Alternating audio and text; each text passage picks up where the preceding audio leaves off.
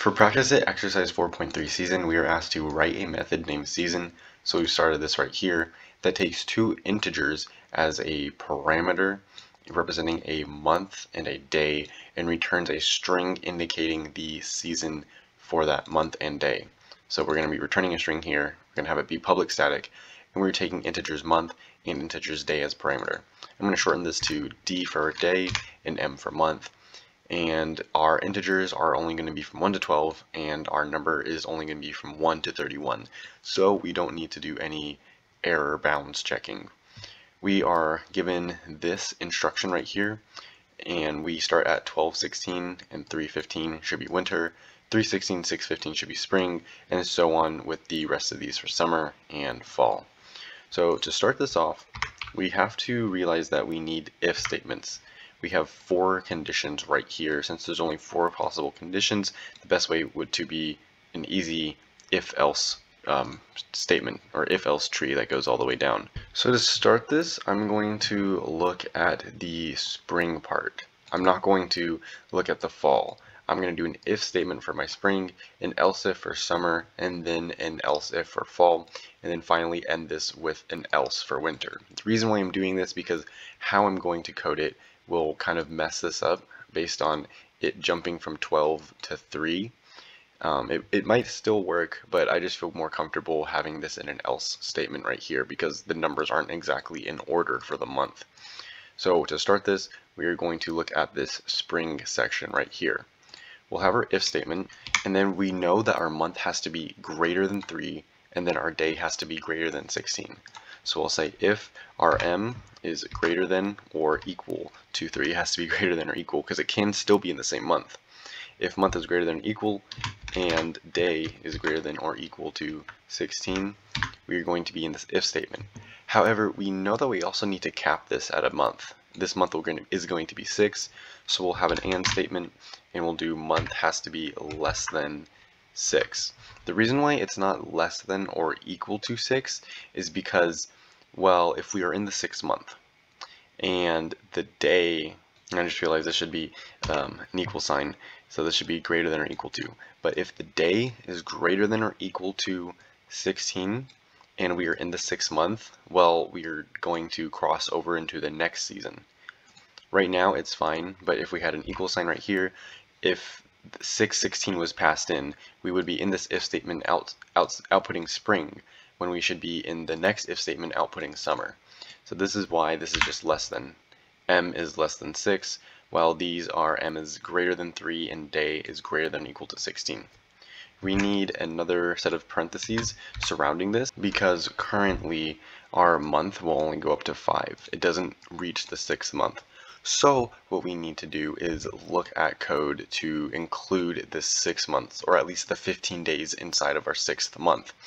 So we're going to be in here, and we know that we should use an OR statement because if this executes, that means it's totally fine. It's within 316 and 615, just not checking the last 15 days in this month. However, if we do want to check these 15 days, we need to check these 15 days, we need to have another part that looks at that, which would be this part. So we're going to have our month has to be less than or equal to 6 now. So our month is less than or equal to 6. And then our day has to be less than or equal to 15 because it's going to be less than that.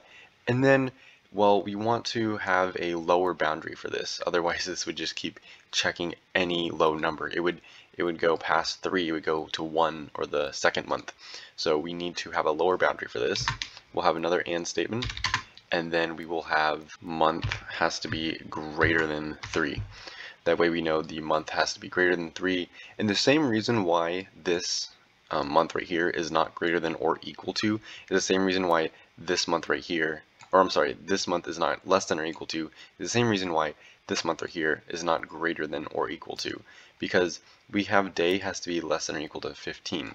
Well, if day is 15 and we're in the third month, that means we are going to be crossing over into the winter season, and we don't want to do that.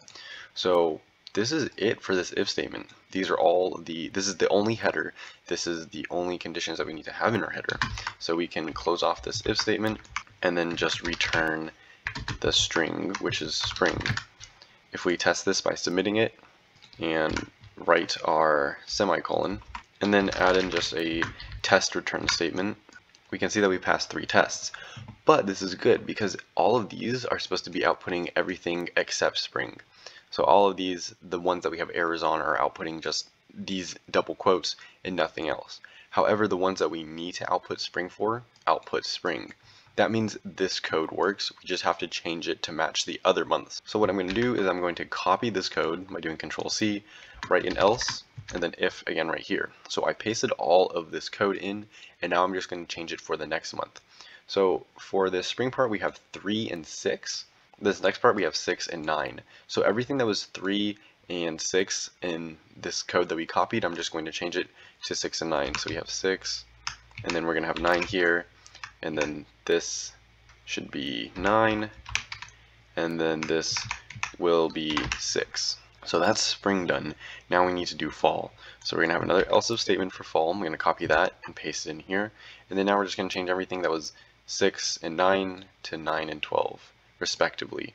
So this should be 9 this last one should be 12 this should be 12 and this should be 9 and then we're going to return spring now, to get rid of our, to do our last part, we'll just have this else statement. We won't even put it in else statement. We'll just return. And what we're, we're going to be returning is the string winter. So inside of here, we will just write winter.